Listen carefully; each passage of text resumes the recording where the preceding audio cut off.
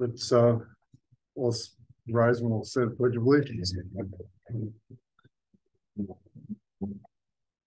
I pledge allegiance to the flag of the United States of America and to the republic for which it stands, one nation, under God, indivisible, with liberty and justice for all.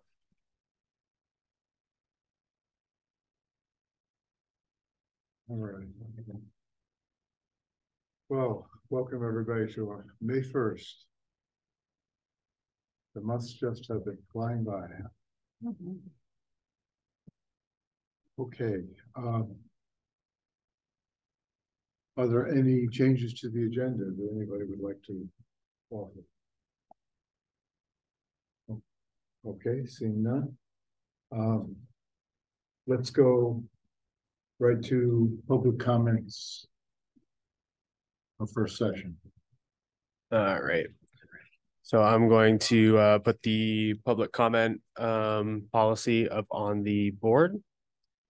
Um, it hasn't worked the past couple times for some reason, still trying to figure out the um glitch in that part, but if it doesn't, I'll just run over it real quickly, um, basically. But while we're waiting for that to potentially load up, if you're in the uh, remote audience, you can raise your hand with the hand raise feature at the bottom of the screen. That'll give me a little hand that I can acknowledge you by. It's not going to work today. Um, if you are in person and would like to make a public comment, um, please raise your hand. I can bring a microphone over to you. Um, you're not going to be able to hear yourself, but it's just to pull in for the uh, live stream. Um, in either case, if you're making a public comment, please use first name, last name, and town of residence. Um, policy in a basic sense is just saying, you know, be kind. Um, you know, don't speak poorly about people, and there's a few other pieces in there that I'll try to pull up.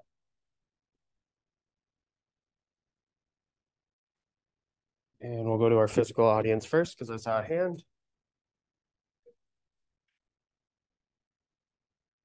Um, Carl, sorry, Carl Pruder, Town of Rindge. Um, we recently, I'm a select, uh, on the select board in Rindge, and we recently got a um, bill and uh, other information regarding a new policy, or it's not a new policy, but we've been reclassified into the policy. And um, it's going to affect our rec department. So uh, basically, we discussed it at our last meeting. I said I would come here. Um, I've been trying to get information. I I, ta- I was able to talk to Trey Horn today. Uh, he informed me as much as uh, he could, uh, but apparently the um, the rec departments of Jaffrey and Rindge have been reclassified. But I guess uh, and we're now from a level three to a level six and out of seven. And uh, but this means that there are possible fees involved. Um, and so uh, we have three levels of programs. Uh, I don't know how it's going to be impacted, and I guess I'm looking for information here. Although we may need it on the agenda in a couple weeks or next time you meet, so that we could uh, have you present and share what you're you have there, because uh, little information sparks rumor and speculation, and which is not helpful. Um, I'm a firm believer in the common school system. It's I'm a history guy. It's what made America uh, prosperous, and um, we need to have this community of governments working together and not uh, dipping our hands into other people's pockets. Um, and specifically, I'm saying, you know, I'm not sure. Uh, I the the I think the school has legitimate concerns uh, that are costs being incurred. It's unfortunate this is coming out just after the budget set because if there were changes in the uh, agreements, we would have put those in our budget. Um, but uh, right now, it's um, possibly going to impact Rindge negatively. It may actually prove a bonus for Jaffrey if they start charging for fields and stuff like that. So uh, there, uh, I'm not sure how it'll affect the school. I think it might actually cost the school money in the long run, but it may. And if the goal was just to reduce the uh, use of the facilities to preserve them. Um, it may be effective. It may have us cancel different things, but that again, we'll have to find out when you do a presentation or give the, um, give this, uh, more information for it. Um, so I, that's all I have at this point, but, um, we still have a lot of questions.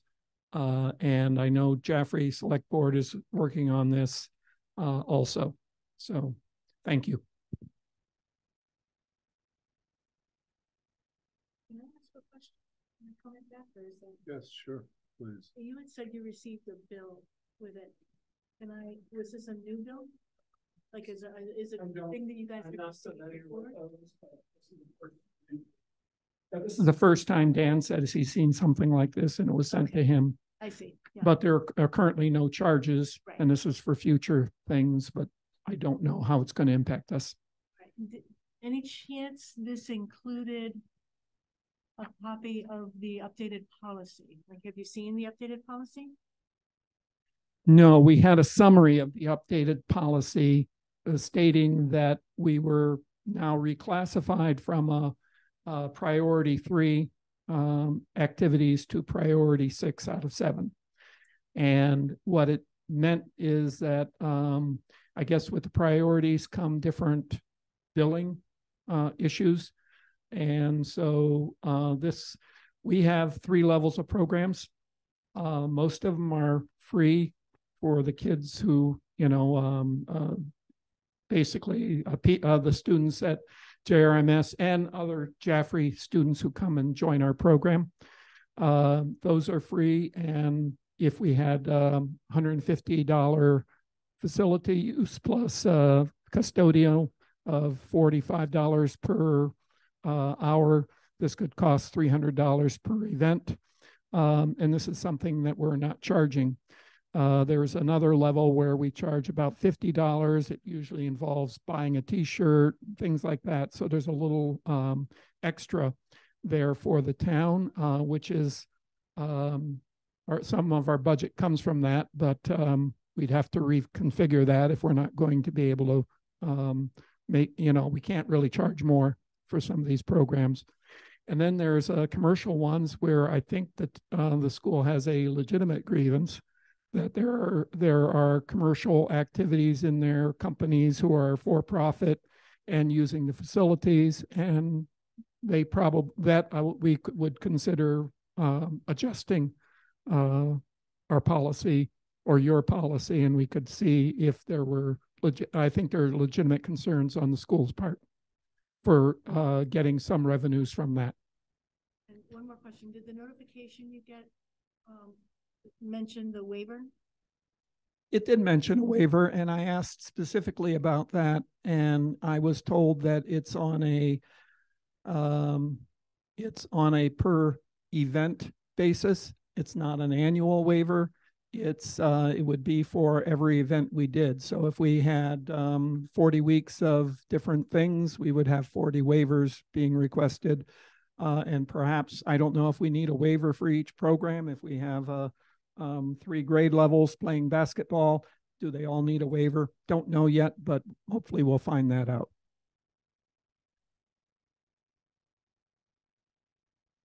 And um, uh, one of the concerns I had is that uh, we we are uh, more distant from the main campus, uh, so we get our facilities used a lot less than Jaffrey does.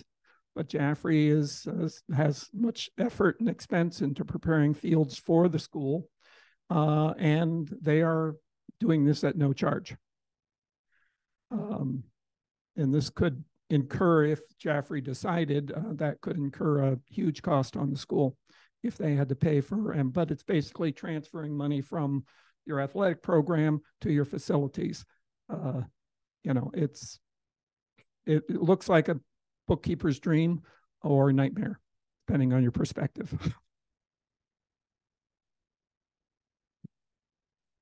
Okay. Two things. I am either the policy committee or you or someone would be glad to go to the selectmen's meeting and explain KFR, policy KFR. Hey, Charlie, could you just speak up just a little bit? so- Okay, um.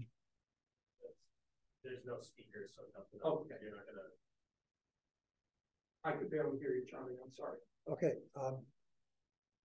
I was saying that there were two things. One was, um, I for one, and I'm sure the policy committee, uh, members and the, the chairman would be glad to attend a selectmen's meeting to explain KFR, policy KFR. Uh, the second one is I was gonna ask the chairman if he wants to have any discussion of that tonight or Uh, I mean, I, I, I would say only if, only if, if you so desire. I mean, typically we receive input. But if we, if anybody wants to ask a question or have discussion, you know, board members, we, we can do that, but. Uh, well, I think it would be in the interest of, uh, clarification to address it right now, in my opinion. I don't know how the rest of the board feels. Okay, s- I, yeah, I would be glad to talk about it to you guys. It's- Yes, Better so to we have can a talk about it. conversation now instead of having this lingering out in the community. Um, and we'll make sure to leave room for more people who want to have public comments. Um. Is there any chance, Nick, that you could put up KFR? Because for some reason, the policy database is not loading for me.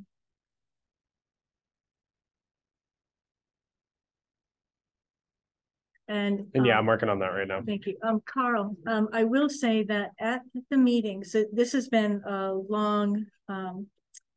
You would notice it's been updated a couple times in the last year. This has been a lot of back and forth. Um, at the most recent meeting where we made the changes to reclassify. Um, we invited both Jaffrey and Rindge, uh, town, uh, leaders and rec department to come to that meeting. Jaffrey did, and so this is in with the input um and agreement of the rec manager and the town manager. For Jaffrey, nobody from Rindge came. Um, so, yeah, I'm sorry that things didn't get communicated uh clearly until you get a a bill, even though it's zero. Um, but all of those, in essence, you listed numerous ways that this, that the town uses facilities that are school run. And that was exactly why. There were so many broad things that were in conflict and becoming in conflict with school things and with election things that it was, we're trying to keep things as clarified as possible, as organized as possible. We have to make priorities in that. So we separated out the election duties from the normal town things, which hadn't been done before. We have to make sure that our town voting can happen in a safe place for everybody. Um, and, but that's different from a craft fair. Right, now, no, somebody filling out a form for a five-day-a-week program isn't gonna have to fill it out for each day. And the waiver is actually a crucial piece of this, and I wish that that had been communicated clearer.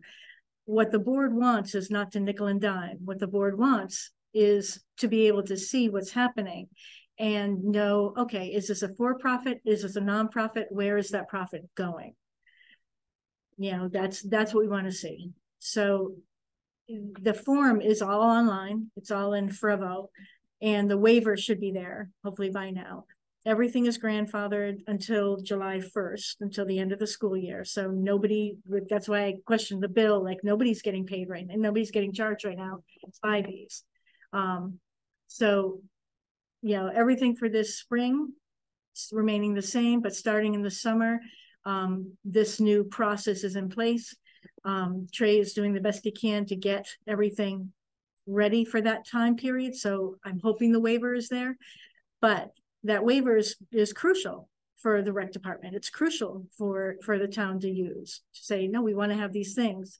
And it's not so we can just rubber stamp, no, it's so the board actually knows what's, what the property is being used for. So we can be better responsible for the deterioration and decomposition of our properties and, and know who's supporting it. A lot of the, a lot of what you guys um, do in your organizations is bring incredible donations and incredible effort into, into supporting these communities and these, these properties. We want to, we want to see that better. We, it just hadn't been communicated and hadn't been clear before. So we just want to see it better. This is, this is about more transparency, not, not about nickel and diming anybody. Okay? Uh, thank you. And, uh, we, I'm sorry we dropped the ball and not, I, I had passed, and there were no, pa- um, notices passed down to me. And, um, uh, we'll, I'll- we'll look into that, but thank you.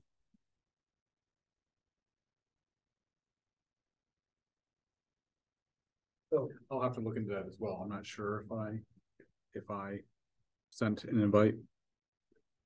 In my original invite that I sent to different people, so I, I did have the, I'll have to, I'll have to look at that.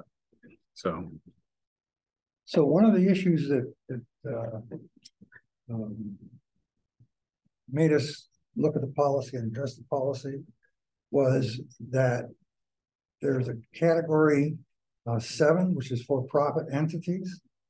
And, uh, we believe that there are some for-profit entities that are coming in the back door through the rec department and consequently where they would normally be asked to provide uh, some facilities fees. Okay, are not doing that, they're avoiding that through coming into the rec department. So that's why we would like to know, you know, who's using it and for what purpose. Um. So that's really what it's all about. It's just a matter of trying to find out who's using it and what it's being used for. Um, and I can go into detail beyond that, but uh, that should be sufficient. Uh, thank you. And I, I, I, we agree with you that there, the level, our third level should be a category seven, as you indicated, and, um, the other programs, but we, just the information we had is everything was level six, and so we were trying to sort that out. No, we, we added. Okay. We had a couple more categories. Okay. One of them was elections Yes, absolutely. We know what happened last time. and one of them was graduation. Yes. Perfect.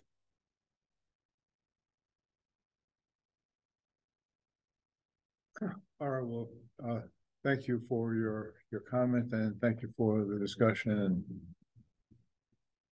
So for follow-up, I, I will attend um, the next selectmen's meeting. And, uh, anyone else want to join me? Lisa? when is it? I'm sorry? When is it? It's, uh, It would be the following Wednesday. I'll probably be in. I'll ask Lori to put you on the agenda. Okay. Okay? Thank you. All right, very good. Nick, are there any other uh people who have raised their hand? In the room? Uh, no, not. Okay, very good. Um, all right, so then um. Let's move on then to Amriel, the student representative report. Welcome. Well, I mean, not much has happened because we did just get back from break, but we have AP testing on Wednesday. There's a field trip to the Peabody Essex, Essex Museum in Salem, Mass on Thursday. Um, my English class is currently reading The Crucible, which is takes place in like when the Salem witch trials were going on and stuff. I know there are a couple history classes talking about like that same time period, so we're going down to see the museum in Salem. Um, baseball is currently sitting ninth in D three, softball is seventh, tennis is eleventh, and track has a meet coming up on Friday.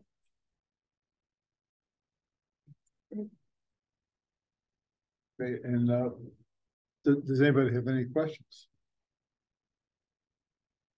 Well, I guess I'll ask the, the AP exams you- start on Wednesday Yes, I believe it's Wednesday. and then must go for a couple of weeks and, I think they're just like all on Wednesday, but like it's all day. okay, Yeah. Okay. I'm not in any AP classes, so I don't really know, but that's what I've been told. Right. Um, I heard, and this is for a past event, but, um, when we had our school board meeting, I didn't even realize that Megan Pura, the librarian, ran in the Boston Marathon. Oh, that yeah, she did. That the school did a, did a celebration for her. Yeah, That is awesome. we had the um band leader around and they were playing some songs and stuff and we all got in the hall and like had signs for her and stuff. It is. Yeah, when I got on WMUR, Oh, it did? Yeah. That's cool. it's a part of that. Yeah. Yeah. Very cool. Nice, excellent. And so, uh, the school year is getting short. Yeah. Can I ask you a question? Yes. How did the course selection go for you? I thought that it went pretty smoothly. I mean, I thought that the new um system that we used was pretty easy to follow and figure out. You like the choices that were available? Yeah. Were you able to like figure it out, like, oh, I really want to take ceramics? But can I fit it in my schedule? Were you able to? Well, I don't know if like about that part yet. I think that's more on guidance, trying to fit it into our schedules now, but like overall, just like picking out like what classes we were interested in taking for next year was out was relatively pretty easy. And when you are choosing, do you have, um, before you, as a junior, um, does. Do you have the information, these are the classes that you need to take, or these are the credits you need to take, is that mm-hmm. available? when you- Yeah, guidance came in and talked to like all the classes and stuff and told them like what they needed to have for each year. Okay. Awesome, thank you. Very cool. Great. Well, thank you again for for coming and and giving us your update. Okay, excellent. So uh, that brings us to the superintendent's report. Yeah, so we had vacation last week, um, and I did actually go away, so that was good. Um, but there was a lot happening here, and so, uh, just a few highlights of what happened here. If you go over to RMS or, and JGS, uh, you'll see that their front entrance doors are all changed. They've all been fixed. They all now are ADA compliant as well. So if you have a fob, you can, um, wave that and then press a button, doors will open automatically, stay open for quite some time. I waited to see how long that would be, a good thirty seconds actually, so that's nice. And uh, so those, those items took place on the outside, on the inside, also work was done uh via the SAFE grant for containment doors. Uh, those are still, they're not complete, but they, they look complete, but there's still some um attachments that need to be uh implemented or put in place. So we have quite a bit of work that has been scheduled facilities wise for the, well, before July. So uh, a lot of the work that we talked about uh, in JGS on flooring, uh, some safety elements to that, uh, both the Pratt and the JGS uh, gym floors are going to be sanded down, refinished, uh, mascots put into place and so forth. So that will be nice to get some branding, especially at JGS where there really hasn't been any. Um, and also there will be some nice um, tiles that will have the mascot on that in the hallway as well, not in the middle or anything, but just kind of when as you enter into a space, you'll see that. So it's it's really neat, matches the flooring very nicely, and we'll have some new flooring there. The uh lots many things happening. So last week while I was gone, um, Nick put together, uh, went, got, uh, met with several individuals, put together a job fair. So we're gonna be doing another job fair. It will be on Saturday, the thirteenth, from ten to two. Uh, advertisements, uh, will be going out starting tomorrow. Or we'll be using our signs again because we got good feedback that that was actually what brought people to our last job fair. And so, but we'll be doing those things uh, starting tomorrow. Route two oh two steering committee, we have a first meeting on the eighteenth. We have a small group right now of about six, and so there are other individuals that people have indicated that uh, they believe should or might be a good por- a partner in this effort. And so we'll reach out to them now that we have a date and time, we can say, does this work for you? And then other meetings that are ongoing, uh, this Wednesday and not, uh, and two Wednesdays after that, so the seventeenth, I think it is. Uh, we will hopefully finish off the initial work that we have been doing with the bullying and discrimination policy work with that group. I did invite in someone to come and talk a little bit about some of uh, their perceptions of what we've been doing already. I don't know if he'll be able to. Um, if he if he can't, that's fine. Uh, maybe we can do that another time because we will present at some point to the board, or at least the policy committee. And then the athletic committee will meet its last meeting prior to having a presentation before the board will meet uh, next Wednesday. So that's the tenth. And uh, some of the work that they've done, they they were encouraging uh, some things that we've already just talked about to be done, such as the Pratt, uh, which included also the uh, bleachers. The bleachers uh, for the purpose of actually uh, making them a little nicer, making them automated so that we don't have workers' comp issues, so that they're safer. Uh, also, so that they um, are ADA compliant and that they also provide the uh, necessary space for the referees that they are requesting that we have um, that we currently don't have for them and for scorekeepers and so forth. We don't have them in the right places. So that work is happening, but John has also um, asked a group to come in and provide a lot of information about our fields so that we have some information about what we can do with them the years to come. So um, I don't, I haven't been briefed on that yet, so I don't, but we'll talk about that at our next athletic committee meeting. We have a, we'll have one more elementary committee meeting as well. Some of that information that we've done there, along with some more information gathering over the next couple of weeks, uh, primarily at JGS, uh, will be used to kind of finalize our conversation and and where we're you know this we'll be able to update the board as to what we're wanting to continue to do and where we're focusing on.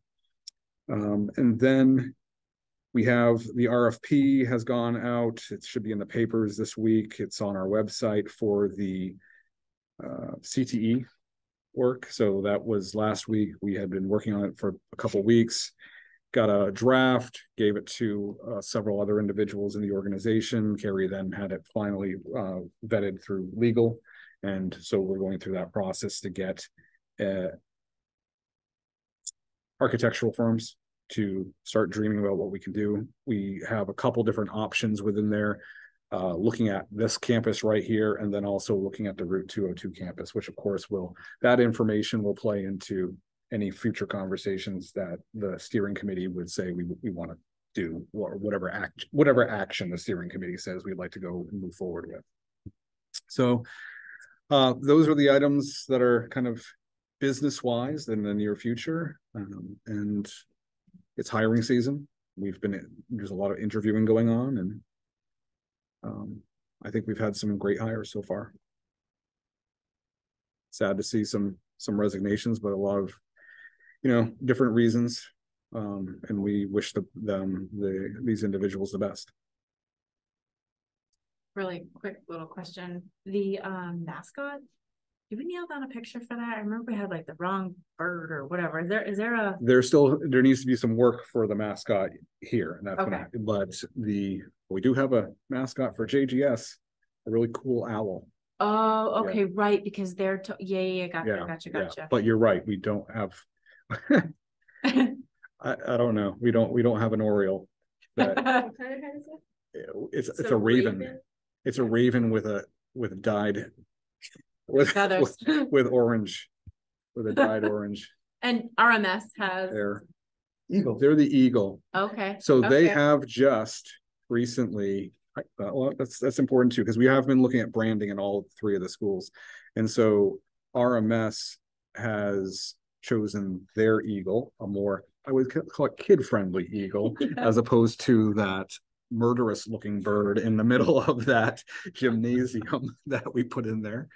Um, so we'll have to think about that at some point, but they are, we are putting in a sign for RMS. You know, RMS is a really nice school. We want to make it look even nicer and more inviting. You have that nice parking lot. So we did, when we put the parking lot in, put the electricity into that, that area.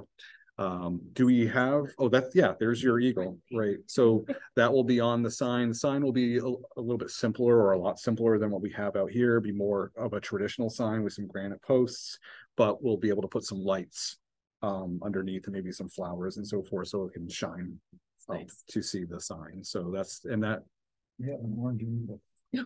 That's a, that's a phoenix. Yeah. it- It's, Orange eagle, it's, you a- know? it's a little happier, it's a little happier of a bird, you know.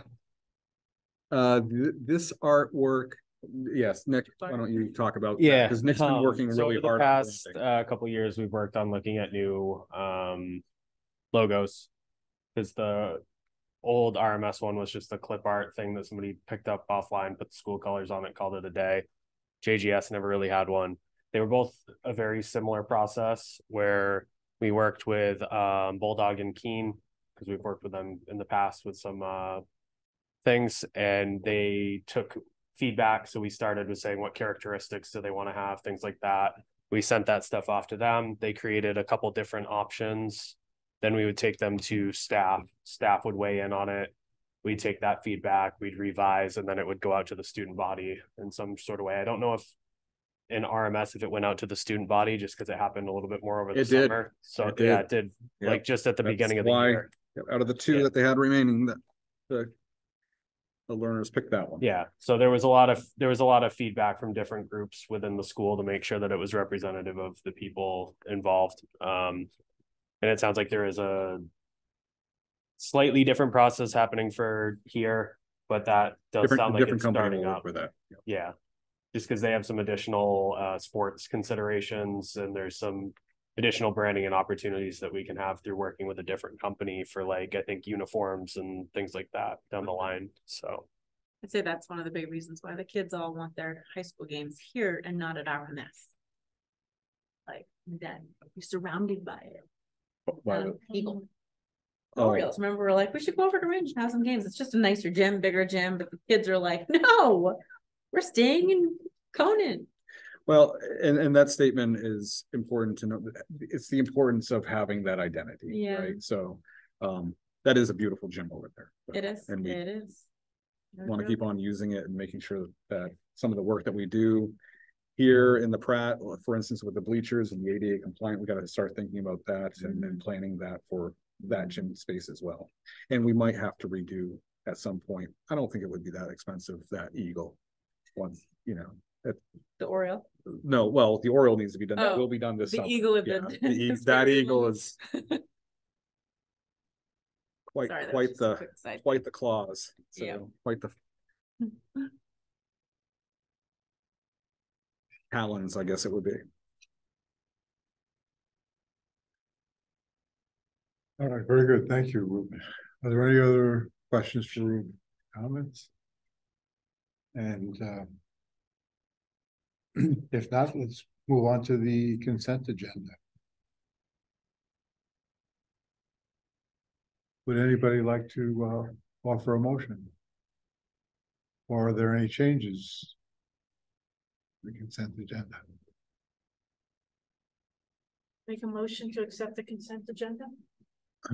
Thank you, Lisa. Second. Thank you, Charlie. If there's no discussion, then uh, all in favor, please Aye. signify by saying aye. Hi, Aye. he's Russian.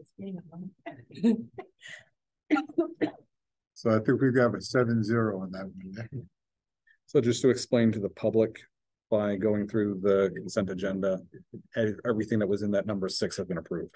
So, um, our new, congratulations to our new facility director, who will be coming on board, um, Sandra Kibbe. And, uh, Sandy, and, uh, we're excited to have her starting with us shortly, um, May fifteenth. And we'll get the opportunity, we're very fortunate to have the opportunity to have our outgoing facilities director and the incoming one work together for a period of time. So there's a nice, there's a smoother transition. Yes, and welcome. Thank you. Yeah. Okay, excellent. And um. This was uh. Nice, we didn't have to remove the minutes, which was. Kind of a, kind of good. We've all been, we've all been around for a bit. And that's been nice. Um. Moving on to uh board matters, I I asked if we could move board matters up a little bit. Because we've had some discussion about trying to make some changes to our board. meetings and, uh, you know, I, I think that's a, a, good thing. And, uh, by moving it up, my hope was that we could, uh, have a little bit more of a chance to, you know, talk about board matters before we're close to adjourning and everyone is sometimes very ready to adjourn, so. So that was, that was the thinking. Uh,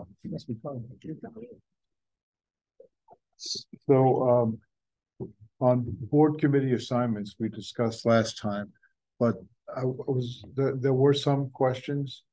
I think about, uh, assignments or some people wanted to verify, uh. And I think some of that's been done or, or is everybody okay with the assignments and, uh, know, able, able to, uh, to meet at the times? Yep, okay. It, I, I think it was because there was some, Yeah, she I- had to work. once we meet with the finance committee, um, I would like to talk, but I don't wanna change the time without talking to the whole finance committee, like see if there's a better time. It's, that would be hard for me to get there to the finance committee for three thirty, I, I, that's when I've been at work, so I can't just leave there, but I think that's more. I can, I can do the May one and then summer's piece of cake, so we have until September to figure out a better time. Good. Okay, Um, the communication committee. Did you add Chris to, I talked to Chris today, um, because he had came up and told me. Um, so he's now at least aware of it, and then I can give him the information. Um. but yeah, I guess just for my clarity, John, is the, are the assignments referenced based on the list that I had sent you, or were there changes made? Between then and now, just because I wasn't at the last meeting. I just want to make sure I have the roster correct. I think I sent an email with my recommendations and I, and I, I think everybody at our meeting last time agreed that they could work with those recommendations. You sent off my email? I, I. Or I- you made a- I sent an email and I, I believe I sent it to you. If I didn't, then I'll make sure that I do when I. This would have been before the last meeting.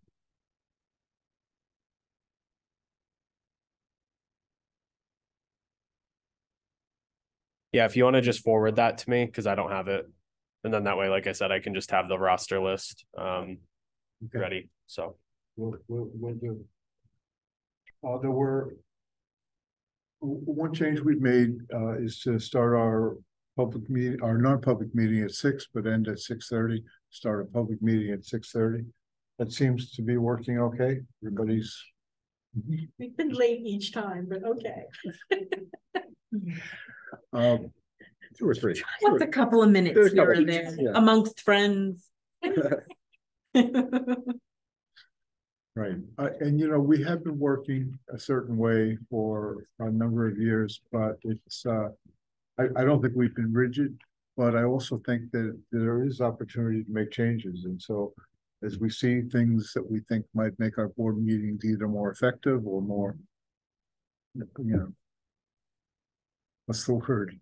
Efficient, I guess, right? Effective or efficient, we should, we should bring them up. And I wanted to mention the, uh live district calendar, there was a recommendation by uh. Via public comment at our last meeting that we eliminate that. But. My thinking is, uh, well, well, I wanted to bring that up because it was a recommendation that was made. And. I guess ask if there are, you know, comments on that or, or thoughts.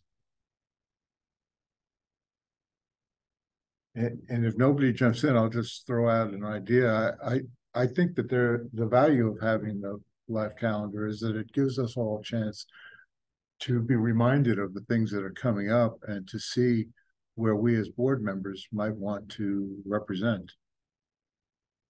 And along with that, I thought that that might be something that we can move a little further down in the agenda. I don't think it needs to be the first item necessarily. So. Also, was- the uh. Public benefits from it, when we review it. And uh, I personally find it very, very helpful to uh, demonstrate all of the activities that are going on. I think it's worthwhile. I don't think it's something that monopolizes a lot of time. I think it's good, and same as you, like, it's just a quick reminder to me, usually I tap on the next board meeting button and put it in my calendar, like. I like it. Yep. Okay, and uh, Nick? Yeah, I would say that the one comment that I have, um, just as the person that does it, is my one kind of hang up that happens is if the board has questions, I'm not really the person that can really help to answer them. So sometimes I feel like we review it, and I'm not saying there isn't value to doing that or having it somewhere that we can at least link to it. Um, but sometimes I feel like we get a lot of questions and then we don't really have the answers. So we have like a recording or an agenda or whatever in which we're not able to properly really help with those questions. So I almost wonder if that is desirable to have answer answers to questions, if there's a way that like the board and the review of the cat the agenda over the weekend, those questions could come ahead of time. Just because then I'd be able to actually reach out to people and then we're not kind of clamoring to potentially try to find somebody the night of that could find an answer. I mean, I remember there was a concert recently and I was like texting Jen Horn because Jen Horn had information for me and we're like going back and forth and it ended up making a calendar review take like 25 minutes. When if I had those in advance, I could have just, you know, tried to get those answers ahead of time. Mhm. So That's a good idea. All right. And then, um. There was one other, uh, comment made from the public at our last meeting about removing minutes from the consent agenda. And. It occurs to me that, you know, that's something we should consider. I don't know if there are any opinions on that. We do often remove them just because we don't always have all seven of us here. But uh.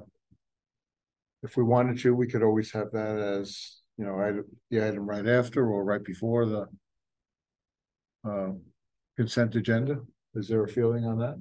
So it's just, uh, just a clarification question. It's just that.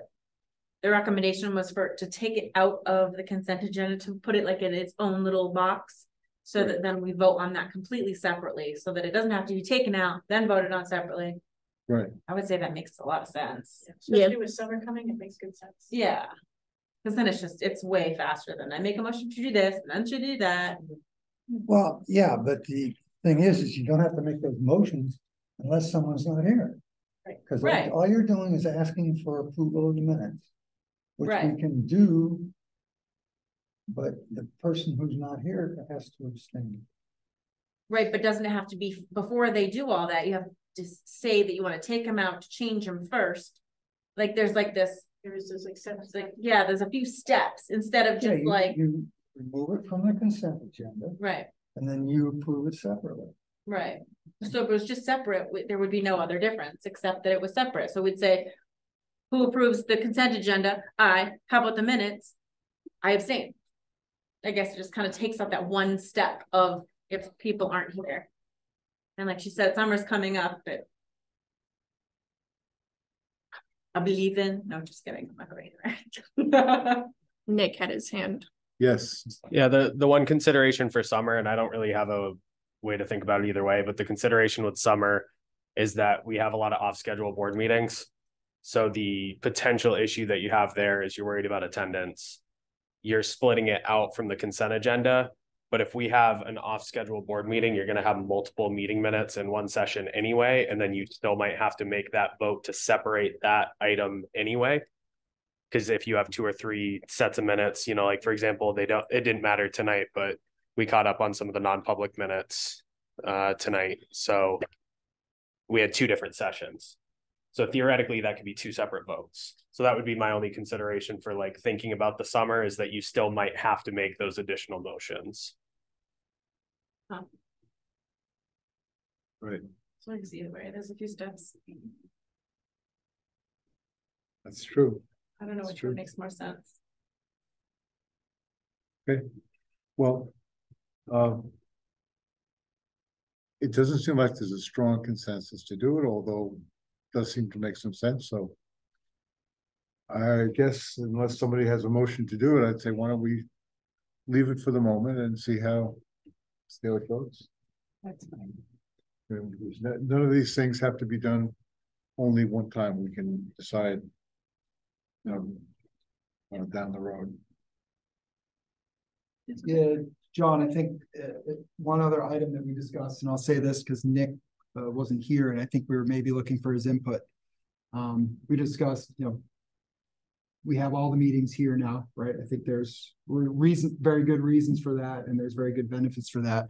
We did discuss kind of amongst ourselves whether there is a reason or advantage to having meetings in Rindge once in a while, just for, you know, possible accessibility. Um, ultimately, we concluded that there didn't seem to be like a strong reason to do it. And we see tonight that we did have somebody from Rindge here, so obviously I think there's advantages to having a regular spot Yeah. and to record. But I think the question that wasn't answered was like, if we were, if there was a kind of a community reason, um, have some more accessibility and Rindge, could we have it recorded there easily, or would that be So um, there's. a lot of additional work and complexity for you or Yeah, else. so one project that I did over the vacation was I moved all my stuff. So now instead of it being in the SAU office, it's literally in there. So obviously that is incredibly more easy for me to take equipment and just kind of go around here and put it in. Um, when we last discussed, as we were kind of coming out of COVID, we had discussed, you know, do we want to start splitting locations? And the conversation, as I remember it, was that one, we don't really have a great like acoustic space that anybody was aware of to set up some of this equipment. Prior to that, we were in the our the cafeteria. And even just the audio in there trying to hear people speak was tough because there's like the um all the things that are plugged in and making noise. There are a couple, t- you know, if you can unplug it, but if you don't remember, milk goes bad, things like that. You don't want that. Um, we do have accessibility and that we have a live stream option. I understand the internet accessibility is its own issue in and of itself. Um, the biggest hurdle for me, if we were to split spaces, would be finding a location that actually works well. You know, this for me is moving six tables. I actually do all the setup and the breakdown of the space, just do the custodial kind of shortage so that they don't have to worry about, you know, setting all this up for me and breaking it down. Um, the other issue would be making sure that we just have that good quality space to be able to actually offer a live stream where we could pick up audio well. You know, the biggest thing I have to contend with in here is the um air unit behind me. Um, but any of these other ambient noise things is going to pick up in the speakers. It's going to be harder to theoretically pull out. Um, the other consideration is that while we do have some equipment duplication, I have one of these that eventually has to go over to RMS. Um, I don't have duplication of everything. I'd still have to take this. I'd still have to take my two boxes. I'd still have, I'd still have to take the speaker. So I'm still having to load up a lot of equipment to bring over when we do that. So Yeah, I think, and I think those were our assumptions. I Mhm. just kind of wanted to hear it from you. yeah, I think So I- I'm hearing is we need to. I don't have a problem doing it. You know, I, Yeah, yeah, I cart this stuff around here, there and everywhere. It's just the, No, Whether I you- understand what you're saying and it's, there's additional work, additional complexity. It can be done, but I think without the driving need, I think our conclusion was that things seem to be working right now, but it'll be good information to have in the future. Should the, you know, should things change and right, we, we decide it would be advantageous to be over in Rindge for you know, one meeting or a period of time. One, the, the other discussion could be centered around, um, you know, like we do all the, like, we do deliberative session and thing like that over at, um. RMS, we could move the, uh, budget hearing over there too, so that there's potentially more of a. Uh, equitable situation. If we did do some back and forth, we could try to figure out, is there a good space? Um. Yeah, I'm, I'm fine either way. Okay. Yeah, just something I think to continue to think about going forward, but I don't think anybody here supports any sort of change now, but. Yeah, that's all. Dick, there was actually one other sort of related question. Um. Is, is there, a sort of an intermediate way of including the public that wouldn't be was, something that we could do if you weren't here. And by intermediate, I mean, you know, like I've attended some meetings where somebody has a laptop and they open Zoom. And it's not overly effective, but it works, you know, and There is plenty of ways that we could do it. I mean, I have one of these boxes up front. I've created there, I have a third one that's in there. And I've created a set that was used by uh, high school students to live stream the basketball games. So they had like a kit that they just could grab and then they could set up something that would be smaller to do the live stream. It's mostly just a question of finding who is that right person, educating them on how to do it. Um, it's it. I wouldn't say that there's a good quality solution to just say, "Oh, I'm not here." Just throw a computer at somebody and they're good to go. Because otherwise, you're just essentially putting a laptop in front of you guys, and you know that's what that was literally like the first COVID meeting we did that.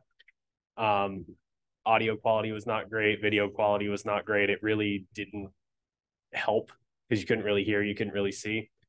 Um, so if we could identify a person, if there was a backup that we had that I could spend some time with, I trained three high school kids to do it in an hour.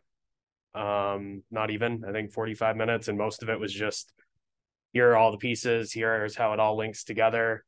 Um, you know, I did a lot of YouTube setup for them because they were live streaming via YouTube, so that they essentially just had to open the computer, log in, do a couple button strokes and then they were there. There'd be a little bit more complexity in the actual Zoom portion of it, just because we're also trying to make sure that people can see the agenda and whatnot. Um, sound considerations always big, just because right now I have three microphones to pick all nine of you up. And as you can see, I'm usually over here kind of adjusting the knobs. I've I have it set up in Zoom so that it can kind of auto dial in. And if somebody's a little bit lighter, it can pick them up. If somebody's a little too loud, it can pull them down. It does eliminate some of the background noise. Um, so, you know, figuring out how to best pick up audio in the case like that might be, you know, again, a little bit more of an educational piece, but we have the, we have the way to do it. We can strip this down a little bit all of this craziness and big stuff that you see essentially what turns it into something that we can validly stream. There's a little box in here that's about this big and we have some of those boxes completely separate from the system. And you have the ability to plug in one microphone and i think one or two cameras. Um and then that would feed directly into the laptop. We do have some of these extra controllers so we could operate the um the remote movable cameras um, so I just, I, I more or less just need a person. Oh, would you okay, consider, great. So, oh, go ahead. would you consider, uh, training a, uh, community volunteer?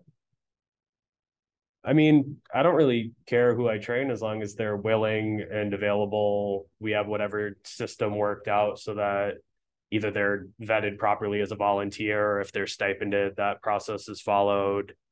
Um, we are working on through getting the equipment over into the library, some sort of like checkout system. So there's a little bit more accountability, perhaps some training modules, things like that, that we can work through so that we can start making it more than a just me thing. Um, but again, just need the time to actually develop it. Um, yeah, they they need just a basic understanding of technology. I mean, most of the stuff is very easy to figure out because all the plugs are so different. So even if you don't really know what things are called, you can kind of match up the shapes and make sure that they're, you know, put in appropriately. Um so yeah, if you if we have a community volunteer, if we have a student, if we have uh somebody in-house, it's doesn't really matter to me. Okay, great. Thank you for that in- information and it's also a good idea. We can take a look and see if we can find someone. Okay, excellent. Um. So now we have a couple of action items. And the first one is the purchase of the Pratt bleachers. Um. Do you, are you? Sure, this was something we actually didn't think we were gonna be able to do because of the whole bidding process and so forth, uh, and working with the state, we found out that this. uh, company or organization was one that we could use. Uh, actually, it turned out to be a little bit less than what we were originally thinking, which is nice. Um, so John is asking for, uh, uh, you you can see that in the first line. I- He's formally requesting funds from the Building Maintenance Reserve, uh, Maintenance Trust Fund in the amount not to exceed a hundred thousand. Uh, you can see the pricing, if you can scroll a little bit so we can see all the numbers down below, that would be helpful. Um. So that's just a little bit of information about the trust and where it stands and what will be added to it in July. And I believe that last paragraph there is the motion that he's asking for. To award the bleacher seating and accessory contract to Robert H. Lord Company, exclusive dealer for that seating in an amount not to exceed hundred thousand to be funded from the maintenance trust fund and to authorize superintendent to execute the contract. And this is to really complete that project of dealing with the floor, which is about twenty some odd thousand. And then, of course, the bleachers, it's, actually a fairly big. Big project. Um, Will but this it, provide more seating or just make them automatic? it will not provide more seating. Um, there's didn't think there was really any way to no do that. good way to do, well, Right. there's one way to do it, but it's not a good. way Blow to off do the it. wall. Okay, there's two ways to do it, but there's, that- no, we've talked, we've talked about it, right? We- It's a perfect space for it. But it's- you there's- what to do. Yeah, yep, yep, she- But no, you'll actually, you'll actually probably lose a few spaces there, but it will allow for. Um, the proper space to be, like I said before, for the refs, um, for the scorekeeping. And also to allow for some more, uh, ADA seating. Uh, where a wheelchair could go in nicely and not, I don't know, be sitting on the floor that they're playing, so, um, We saw pictures not of, but yes, also they. to- not of these, the bleachers from this company, but from, um. I'm not sure they're all fairly standard, and it just looks so nice, I mean, there's obviously many other reasons, one of which is being ADA compliant, the other is that our bleachers are not set up on the center line, or our score table's not on the center line, so sports aren't in compliance, that our current bleachers are old and clunky and difficult to open and close without someone getting hurt, and I know that for the Saturday morning basketball program, they have the students open and close the Attempting bleachers. to, yeah, Yeah. attempting to, yeah. Yeah. It's, it's, Um, but they, they just look so nice too. I mean, just Oh, yeah, that. those bleachers are old and kind of grody now. The official word. Yeah, and I- I will say I was able to attend that last facilities meeting where we saw that. And these are, I believe, the same bleachers that we looked at. It's just we're purchased, yeah, it's the same Hussey bleachers. We're just purchasing through uh their distributor. So they are the same ones that we looked at. And yeah, I totally agree that they look real nice. They're gonna operate, you know, without the risk of injury, which I think is most important. Yeah. As I said at that meeting, I don't care so much about the referees and their preferences, although you know, if it gets us another win or two, then maybe that'll uh you know, maybe that'll work to their advantage. They'll have the sight line to make that, that right call, I guess. But, uh, the most important things I think are the safety, the ADA accessibility, and then doing it at the same time as the floor, right? I think there's, you know, some financial advantages there that we'll, we'll realize by doing that at the same time. I think if they were to do the floor this summer with, with the old bleachers, they wouldn't be able to refinish probably the area where the bleachers were. Then there'd be the matter of removing bleachers over the new floor, which practically speaking would probably damage some floor, the floor. So I was disappointed last time that it didn't seem like we are gonna be able to do it at the same time. And I think this is, was very happy to see this come across the agenda that we can do it at the same time and, because that's the right way to do a project, right? You don't want to split it into two phases, take care of it this summer and then maintain it, and then you're done for, you know, the foreseeable future with this one investment. Yeah, Great. Um, Well, if, are there any other comments or questions about this, uh, action item? And then if not, uh, would someone like to make a motion? Yeah, I'll make, I'll make a motion. Uh, I'd like to make a motion to award the bleacher and seating accessory contract to Robert H. Lord Company, exclusive dealer for Hussey Seating Company. An amount not to exceed one hundred thousand dollars to be funded from the Building Maintenance Trust Fund. To further authorize the superintendent to execute the contract. Well said. Go ahead. Memorize that. Okay, so then thank you, Chris, and, and thank you, Kim. Sure. And, uh, all those in favor? I, Aye. Opposed? None? So, great. We'll have some new bleachers coming in this summer. That'll be, that'll be nice, nice upgrade. And then that brings us to the food service bid award. So I believe Carrie Broderick, our chief financial officer, is online. Yep, great. And so she'll be able to speak to the bid award as well as any other questions or topics relative to food service. This has been, um, we've had a, we had a nice committee that really met and I think was on the, we were all on the same page as to what we were really looking to accomplish and uh, I'll speak for myself. I believe that this is uh, a good direction, um, but I think that you know Christine, you know, you were part of that. You could certainly have some voice in this as well, and um, what you think about it. But um, I think if we give Carrie some opportunity to discuss this and what we need to do, that would be great. Okay, great. Carrie? Hi, can everybody hear me? Yes. Yeah, okay, great. Um, so to summarize this, we had four companies that bid for our food service management um, operations for next school year. They were Chartwells Cafe Services, the Abbey Group, and Whitsons. They provided um, bids to to us to take a look at that talked about their cost to run the program, what they were offering to benefit as benefits to employees, what their menus would look like, what type of foods they would be offering. So when the committee sat down and looked and compared all the different categories, basically what you're looking at here is um, the criteria and what each criteria's points were worth and how each company rated when we looked at the different proposals that we received and how how they were scored. And the total um, that each were given after all scores were taken into consideration. And as you can see the abbey group came in at the highest rating.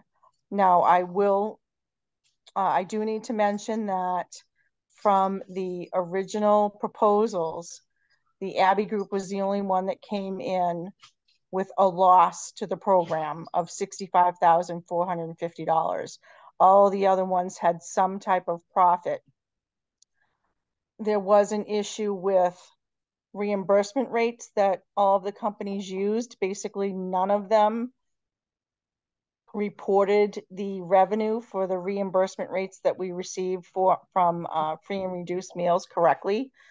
So some uh, had the paid meal reimbursements wrong. Some had the paid meals and the reduced meals wrong. Another one had added extra revenue that wasn't included in the bid. And um, another one used the original reimbursement rates that we had sent out because uh, I don't want to make this confusing, but we had sent out revised reimbursement rates. So the Abbey Group used the original ones that were sent out. The other companies used the revised ones, but didn't really do them accurately. And when all items were taken into consideration, that weight didn't change the outcome of who was rated the highest, and that was the Abbey Group. They also came in at the lowest overall cost to the district from an expense standpoint. So where they lacked from um, having a profit was in the revenue side. From a you- district's budget perspective, in next year's budget, we did include funding a loss to the program for the food service um, out of our general fund in the amount of about hundred and eighty-two thousand. So because we've already budgeted that, we have more than enough to cover the sixty-five thousand, four hundred and fifty thousand, uh, four hundred and fifty dollar loss that the Abbey Group has proposed in their budget. In addition, we budgeted expenses for the food service management company in an amount of seven hundred and their overall expenses came to five hundred and forty thousand, just over five hundred and forty thousand. So we have budgeted enough to support this award should the board choose to move in this direction. I hope I made sense. Does anybody have any questions? So I think what you're saying is, and I'm looking at this, is that they were the most expensive, but we have adequate budget uh, to cover them as far as Abbey, the Abbey group. Is that correct? Right, so they are going to, the, the, the district is going to have to cover a loss to the program. That is how come they become the most expensive, even though their overall costs are the lowest we have to support any losses to the program. The food service program is a federally funded program, so we cannot use food service. Uh, how do I explain this? The food service program cannot operate at a loss because it's federally funded. So if a food service management company proposes a loss to the program, the district has to cover it using general fund revenues. So we have to budget an expense on the general fund side to record it as a revenue on the food service side to cover any loss to the program. And um, Chris, at the in the meeting, the Abbey Group explained the loss as um, basically these are just setup costs for the first year that yeah, yeah. they imagine that and they can predict based on how they operate in other school districts that they will that loss will not exist the second year. But um, the first year as they get established and buy what's necessary and the food that's necessary to do scratch cooking which is what they're proposing for a school district it's going to cost a little bit more upfront. Yeah yeah that makes total sense to me. Thank you. No it's just just because i'm you know don't know much about food service in schools. I assume like the cost to students for each one of these remains the same, right? For each one of these choices, or is that a differentiator as well? Like if we were to choose like Abbey Group or Whitsons, is there a, difference in cost? So the short, the short answer is that, I mean, we, every year, we look at whether we're going to raise or costs the same for lunch programs and so forth. Yeah. Of course, we, you know, with inflation the way it has been, I think there has been a conversation uh, regarding raising some prices and Carrie can talk about that, but it would have been had regardless of which. Okay, yeah, yeah, and, and that was my question yeah. for this. Mm -hmm. Right, so all of the proposals that were submitted were based on meal prices at our current meal prices. So all of them used the same rate when they came up with their proposals. Got it. Thank you. Okay, so I'd like to make a motion that we award the operation and management of the district's food service program to the Abbey Group for one year period beginning July 1, 2023 and ending June 30, 2024 with the option for four additional one-year renewals and further to authorize the superintendent to execute the contract. Yeah, thank you, Charlie. I'll second. Christine, thank you, Christine. Daisy raised her hand. Oh. You spoke louder than I, the words came out. Oh, okay. Well, uh, thank you both. But uh, all those in favor, please say aye. Aye. Aye. Okay, so that carries also seven zero. And I'd like to just say a public thank you to the committee for the tremendous amount of work interviewing these committees and meeting and that I've been hearing about the effort you guys have all been putting in this year. And this is this has been huge what you guys have done. Thank you. Massive amount of time. Thank you. I appreciate also the work that the wellness committee has done, because I think that when we went through part of the lens of of going through this was looking at it from a health and wellness standpoint, what was going to be more compliant with our wellness policy, what we wanted for our kids. We do have individuals who have food insecurity within our community. Um, I think that number is larger and larger, uh, unfortunately, in, in most communities. And the quality of the food and the um, and the quantity of people who are eating the food is really important to us. Um, it is important to their education. It's important to their well-being. And so I think this is a, I believe this is a good step. I'm excited about this group. I'm excited about the way they're going to prepare the food, the way they discuss caring for their employees, the rate that they're going to be paid, their philosophy and their approach. I think our learners are going to be see a difference and it's going to be positive. And i believe that parents will be very excited about it. Yay. i know we'll hear about it. That's the first thing i hear about when my kids come home. Did you know there's a sub bar now? I love it. So they like talking about that food. Yep yep. Well, I have a comment and question. Yes. Uh, the comment is that um, with our current um, provider. They were supposed to be doing surveys, student surveys, uh, and they didn't. So I have a suggestion that the school district create its own survey and it has the uh, systems to capture all of that information. And that we do our own survey with the students and find out how happy they are with the, the food service on a regular basis and provide that feedback back to the food service. Mm, great recommendation. Uh, secondly, I wanted to ask Carrie if she wanted to address the meals pricing tonight or another night. I can talk about it if you want, you want me to address it. Yes, thank you. Sure, okay, so Ruben mentioned briefly that every year we have to take a look at our meal prices that we charge students. So um, because it's a federally funded program, we are required to meet certain minimums for the paid student lunch prices that we charge. So this does not include breakfast. It doesn't include adult meals. It only includes the paid lunch student meal prices. Um, typically each year it's raised a certain percentage and you also has, have to look at the consumer price index. So that's all part of determining the amount that our weighted average meal prices have to meet.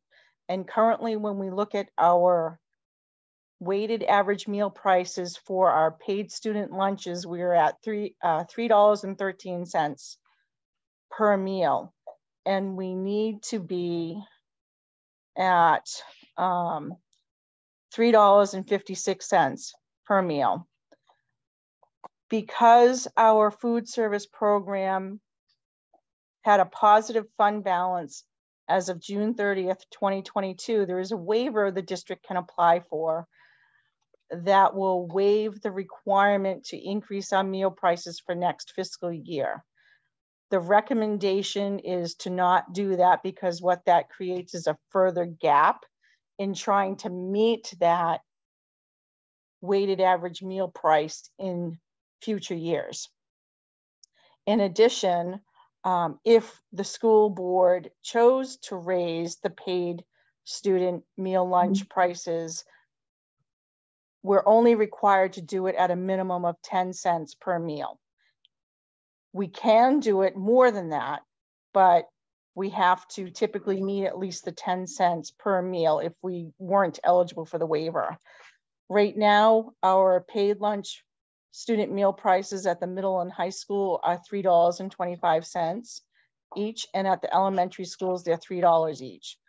So after reviewing this uh, paid lunch equity to, to try and come up with a weighted average price that will meet the $3.50, $3.56 per meal weighted average price requirement, we can raise the paid student lunch prices for the middle and high school by fifty cents, which would bring it up to three dollars and seventy-five cents per meal, and at the elementary schools by three dollars and thirty-five cents per meal, and that will get us at three dollars and fifty-seven cents as a weighted average meal price.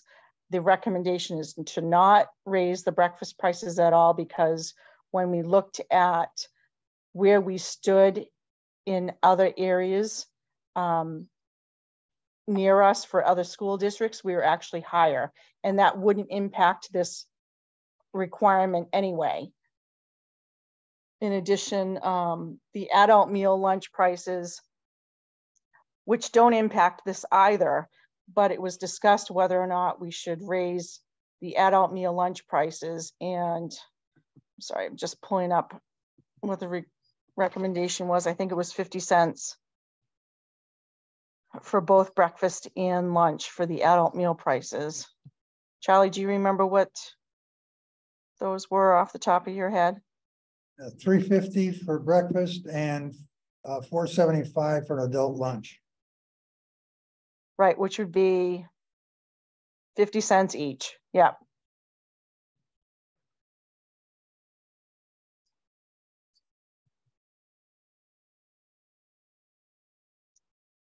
I don't know if anybody wants to ask any questions about the requirement or has any input. Um, The board can think about it and decide at the next meeting, or you can decide now whether or not you want to move forward with the recommended option that the finance committee came up with that I just mentioned. Oh, we have finance committee. Uh, I'll make a motion that we um increase the um lunch price at CMHS by fifty cents and a JGS and RMS by thirty-five cents. And that we increase the adult meal price by fifty cents, making adult breakfast three fifty and adult lunch four seventy-five. I'll second the motion. And Charlie, your recommendation for the middle and high school was just for lunch, correct? That's correct. As well as JGS and RMS. Right, okay, thank you. Carrie, Carrie, in that motion, do we want to say for the 2023-24 school year, or does it matter? No, I would, I would say for the 23-24 school year too, please. So amend my motion to include the mm-hmm. 23-24 school year. Thank you. Effective immediately. So we have a motion. Do we have a second? A second. Okay, thank you, Daisy. Charlie? Are there any questions? I I just have one question and I think it was probably explained. I probably just didn't understand it. So I'll give, that I'm not. I, I trust what the finance committee has done, but I'm in my head, I'm trying to reconcile what, what the, the best reasoning is. Maybe Charlie, you can explain it to me. Um, so it sounds like we had a surplus in the fund, right, for this previous year. Can you explain to me why it's not advantageous? And I think Carrie did again explain it, but maybe just need to hear it again. Why wouldn't you take that and offset the cost of next year's meals, or something like that? Or am I thinking about it completely wrong? It doesn't, well, it's not offsetting, okay. What it's doing is it's saying that uh, there are two options there. One is a, a zero increase because we have the surplus. Okay. Right? Um, and we have minimum increase of ten percent. Both of those, if you plot going up ten percent or you plot going up zero, we're currently at three dollars and thirteen cents. The state requirement is three fifty-six. Next year, the state's requirement may be much higher than that. You know, three sixty-six, three seventy. That means that if we didn't have a surplus next year, we'd have to raise the prices by seventy cents. Or if we uh raise it up by ten percent, ten cents, we'd have to raise it another sixty cents. Got it. And what we're trying to do is keep track of the, the pace of increases of the state requirement. So that we really don't get behind the eight ball in any one year and have to come up with a large price increase. And, and we think that these, this price increase is reasonable, considering, you know, the current cost of things. And, uh, we, we also feel that it's more reasonable to, uh, put a higher price on the high school than the elementary schools. Uh, and we also believe that breakfast shouldn't be touched because we believe it's probably the most important meal of, of the day for students. So, no, I hope that answers. Yeah, that all, that all makes sense. Thank you for explaining it so clearly. There's, there's one more thing. Carrie, Yeah. would you be able to answer this question? Uh, My assumption is that the reason why we have the surplus is really because of um last year's and, and the prior years, really, but last year in particular, um free meals paid for by the state. Is that correct? Is that Right, still so So thank you for asking that, Ruben, because I did want to address that. So I wanted to, to make sure it was understood that because we had a positive food service fund balance as of June thirtieth, twenty twenty-two, that doesn't offset the meal prices. All that does is allow us a waiver, so we still have to meet that minimum at some point in time. In addition, the reason why we had the surplus, Ruben, you are correct, is that we had free meals. So we were receiving um, more in reimbursements from the federal and the state to cover the cost of the food service program. Right now, if we continue at the run rate where we're at in expenditures, we'll be running at about a loss of eighty-five thousand dollars in the food service program this year.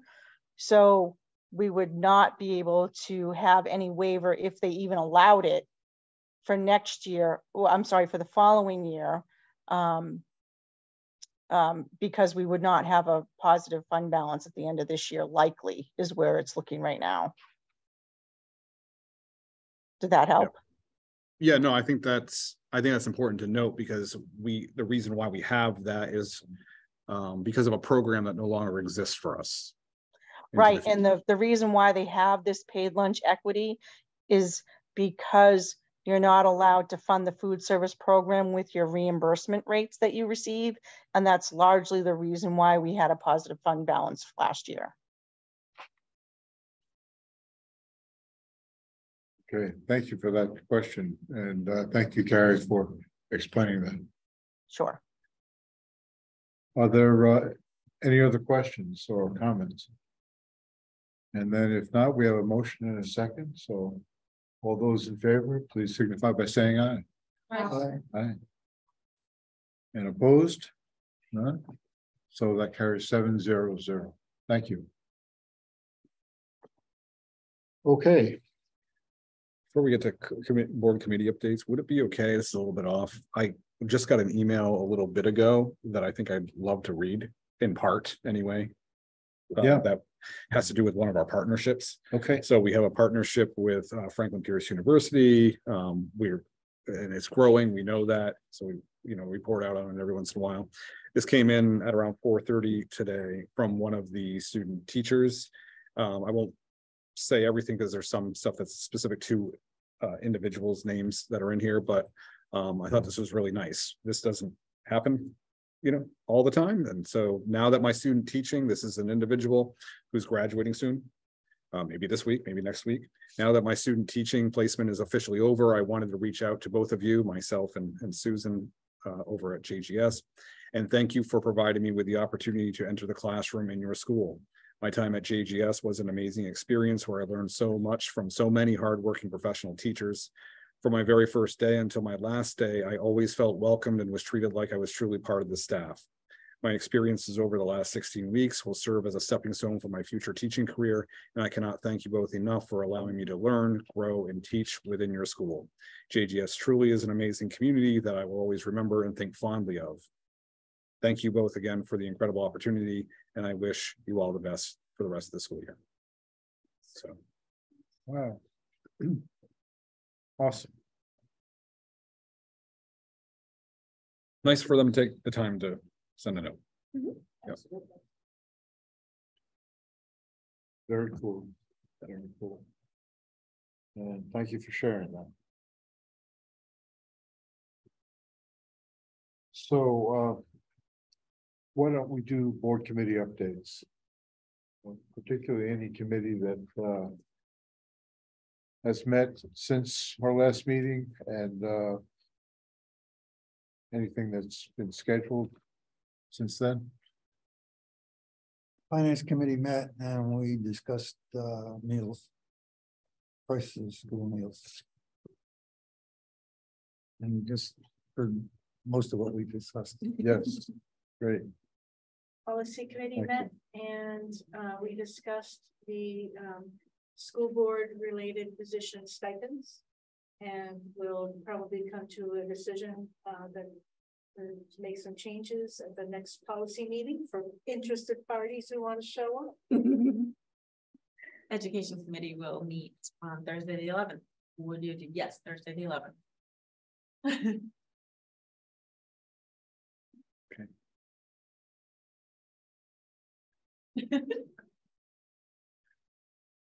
Um, So.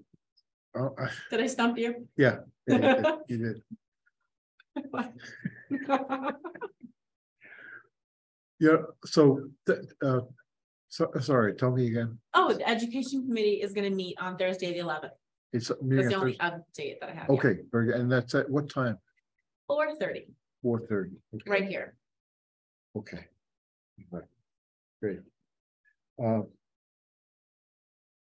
And uh. I think. Goals committee, do we have a date for that? We do have a date for that. Goals committee is going to be on May twenty, let me get my May calendar up. May twenty-fifth at four thirty in the superintendent's conference room. And the next policy meeting is the eighteenth. Okay. Okay, Thursday this month. Right after finance. The wellness committee is meeting soon, John. In, I'm trying to pull up the date, but struggling. May eleventh. To discuss the spring walk to school day.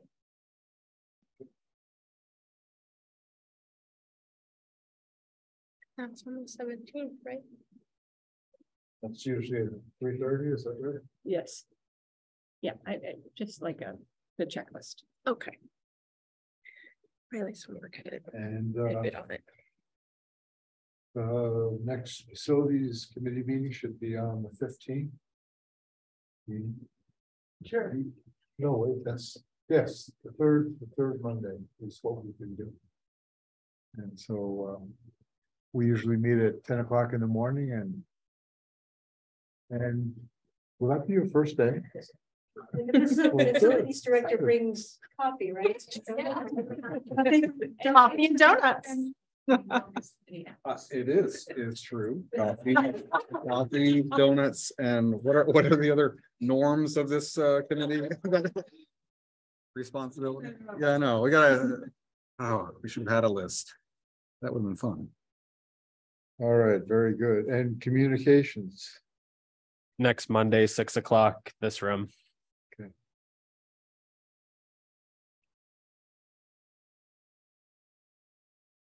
Okay. And I think that's all of our committee updates. Um,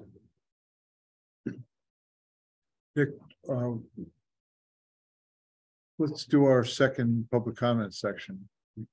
All right. So got the uh policy to load up this time around. So uh those who are not familiar, feel free to read that before making a public comment. Um, we do have a physical and a uh, remote audience. So again, physical, just raise your hand. I can bring you the microphone. If you are remote, uh, raise your hand via the hand raise feature at the bottom of your screen. That'll give me a notification to uh let you be able to speak. In either case, first name, last name, and town of residence.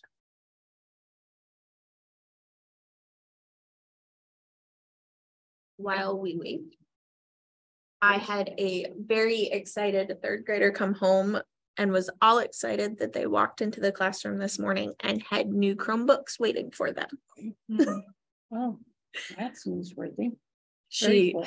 she came home and she's like, Mommy, when we walked in this morning, the the whole rack, we all had new computers. That's great. Well, and that's as a result of some decisions that were made earlier during the budget season, and so that's coming into play. Um. And Mike had worked with the principals over a period of time to find out the best way to do that kind of exchange and figured it was best to have them leave their computers, take them away, and then replace. them. They, they were very excited when they walked in and saw new computers because they had no idea that was happening. Or at least mine had no idea it was happening. And they'll be even more excited when they use them for state assessments. In the, in the weeks to follow. Is, is that coming up in the next few weeks? Yeah, yeah, I think even starting next week in some grade levels, Uh-huh. yeah. Uh, elementary, a little bit later in the middle school. Well, uh, maybe I'll mention that as a future item. I don't know, if something coming. I, I showed this to Ruben today. It's obviously something he had seen, but there was a webinar done by the New Hampshire School Board Association about a month ago. And I saw it on my computer. They, you know, they always send these things out and oftentimes you just can't find the time to attend, but I had a free hour and I was able to go on. It was uh, a new platform called iPlatform. It was through the School Board Association, but it was done by someone working under contract with the State Department of Education. And It, uh, know, it's pretty interesting. It, uh, provided data, you know, statewide data, but it also provided a list of all the schools in the state. You could click on the school and you could see uh, proficiency ratings for each of the schools in, uh, ELA and math and science. Uh, there was some other data, including average teacher salaries, class sizes, and, uh, um, you know, expulsion rates and uh, you know, suspension rates, thi- uh, things like that. And so, um,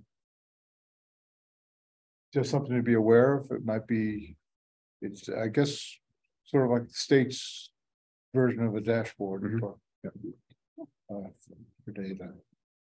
And, uh, And how far back does it go? uh, it went back several years.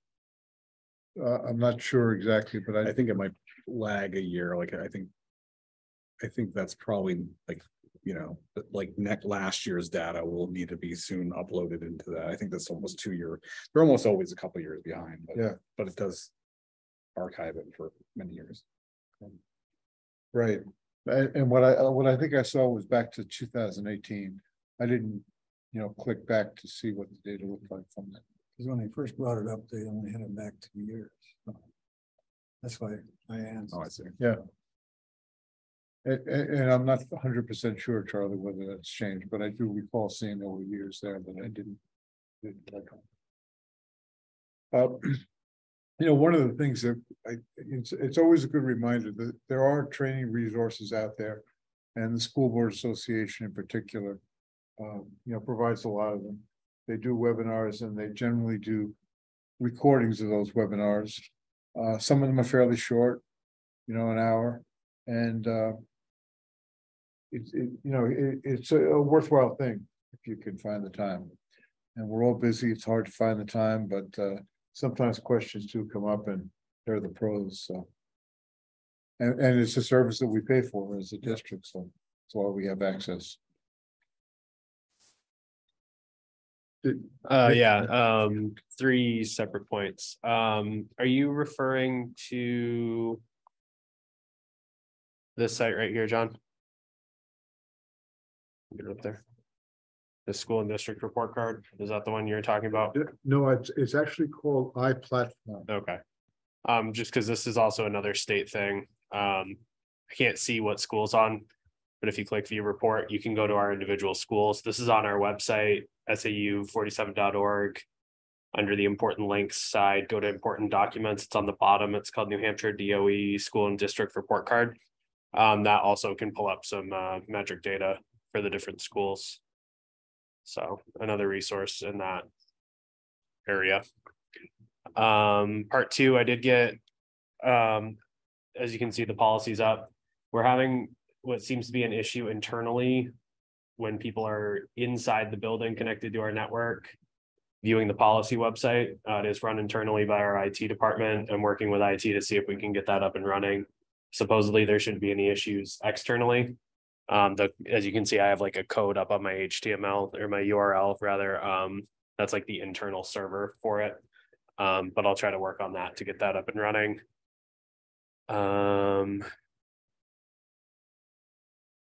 And the third point, I don't remember what it is, but we don't have anybody who has a public comment, so. Okay, we're very on good. that Round. Right. Are there any future items that any, I just have a quick question, um, Nick, and this is a mean question after your comment about the live district calendar and people being prepared. But if you go to the calendar, I was trying to find out when the Hello Dolly musical is happening.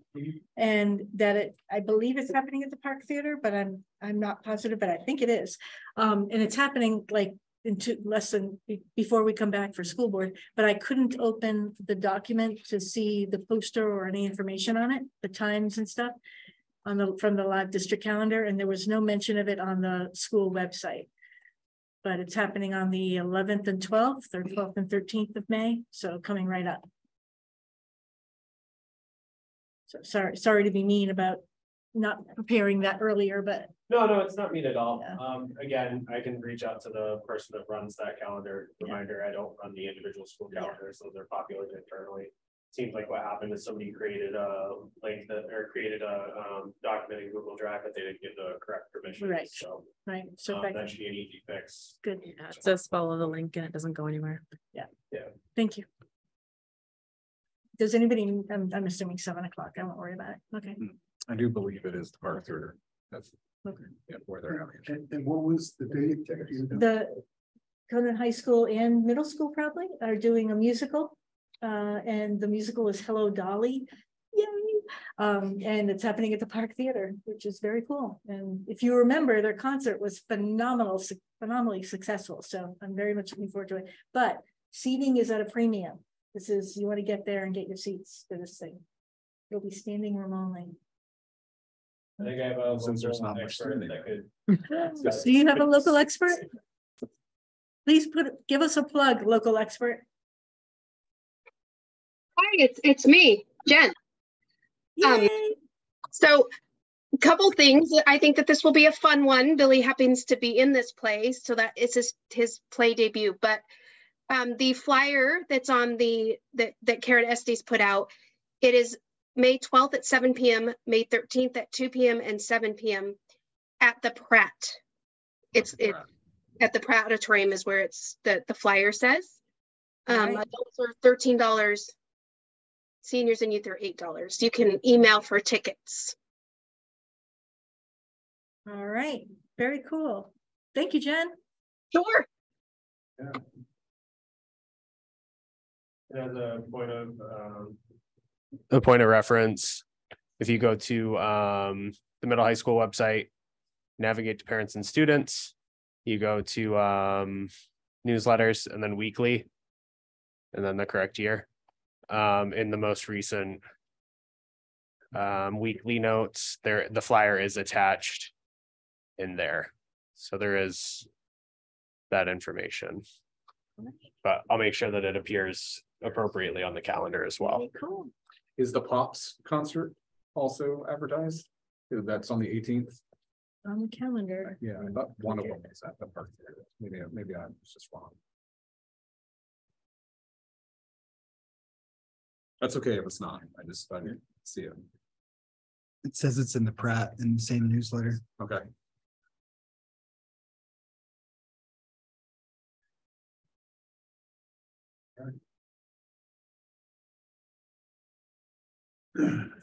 And the calendar only has a date and time. It doesn't say where. who's- And doesn't have a poster link. All right, all right, very good. So, um, I think we need. If there are no few more future items. I think we just need one more motion. That would be, I'll make a motion to adjourn. I'll second. Okay, uh, thank you, Christine, thank you, Kim, all in favor? Aye. And we are adjourned. Thanks, everyone.